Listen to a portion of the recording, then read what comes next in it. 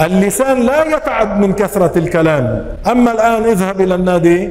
ولا ما تذهب إلى النادي. هلا حمول قلم بك. قلم رصاص حمول إذا بدك. عمول خمسين مرة هيك مئة مرة هيك العضل تبعك بيتعب.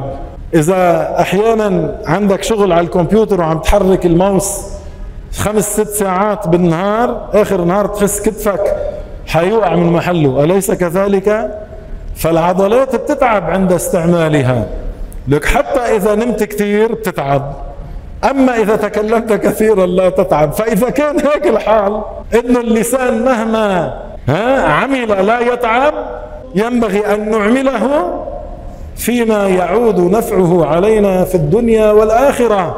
مثل ماذا؟ ذكر الله.